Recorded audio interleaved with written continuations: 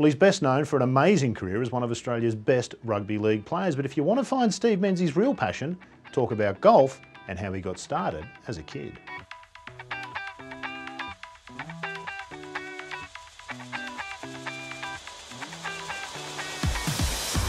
I think I used to do little chip shots and up at my nan's house actually and she had the old little pea cans and she used to cut them into the grass and we used to chip and just used to do that in the backyard and probably didn't start playing till I was maybe 15 or 16 and then it, when you turn professional on you're 19 and a bit of spare time you um, then you can get into it.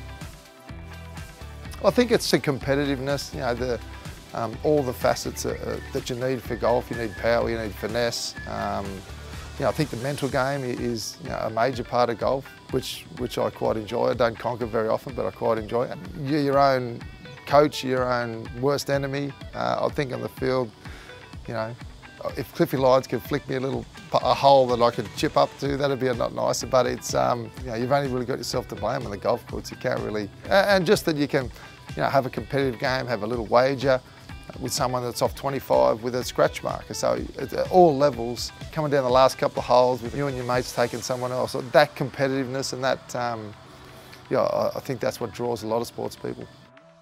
On our days off, here's an example, we'd have like a, Wednesday off training and we'd get up early and leave at 5.30 from the leagues. Your eight of us go up the Horizons up here, uh, Nelson Bay, there, play 36 holes, then drive back. That was, that was our day off, just to relax.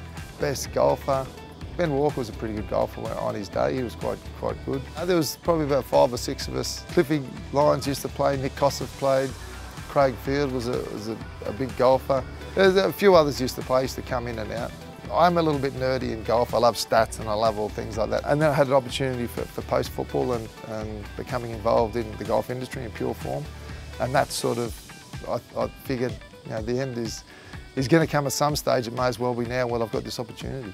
Well, uh, it came about, I was overseas playing um, in France and a good mate of mine, James Osborne, got the golf bug and started going and seeing a guy called Paul Jenner. He had this little dungeon, this little place that he used to fit and build clubs and he's one of Australia's best at building and, and fitting clubs and they're looking for someone else to come in and um, James knew I was a mad golfer and was coming back from France and sort of said, do you want to come on board? And that's sort of how I said yes and then said, what do I need to do? Well, you know, we custom fit and build golf clubs, but it's, it's the way we do it, the process in which we do it. Um, so everyone has a, a, a, different swing characteristic, whether it be a fast tempo, naturally a high ball flight, low ball flight. So we get someone in looking at their spin rates, their launch angle, their ball speed, club head speed, using all these factors, using TrackMan, we can custom build a shaft and head combination. You know, we carry 400 odd different shafts and maybe another 60, 70 heads that we can fit to those. People want distance and accuracy and that's, that's hopefully what we give them.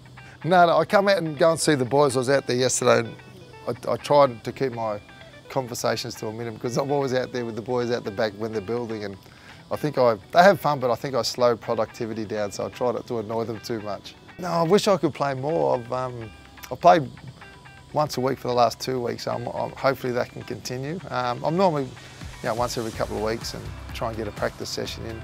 I think I'm off about 9.3 at the moment. My last two rounds I've had two 37s, so it's on the way down.